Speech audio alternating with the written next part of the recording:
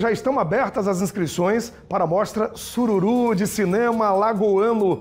O evento foi criado em 2009 e chega agora à 15ª edição com uma programação diversa e inclusiva.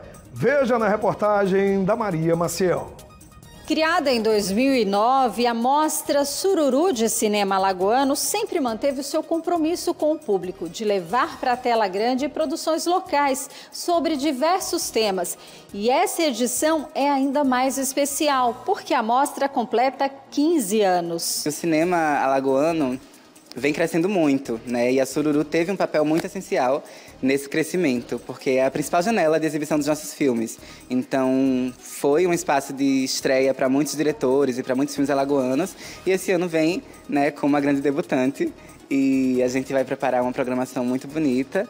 A novidade desta edição é a mostra Inclusão. Vamos exibir filmes com todos os recursos de acessibilidade na tela.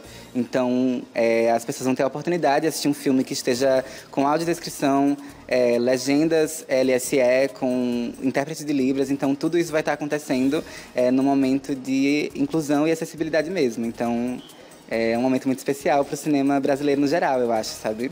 As inscrições já estão abertas e podem ser feitas até o dia 29 de setembro, nas categorias curta-metragem e videoclipe.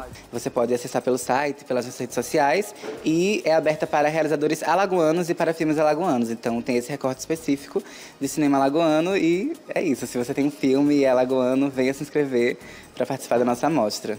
Além da mostra oficial, a programação inclui a mostra online, itinerante e também oficinas gratuitas para o público.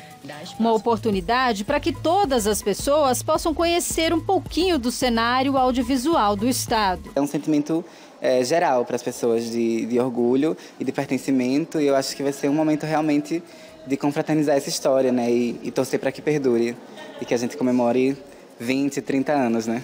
A mostra Inclusão começa no dia 26 de setembro. Já as exibições da mostra competitiva acontecem de 12 a 15 de dezembro no Centro Cultural Arte Pajussara.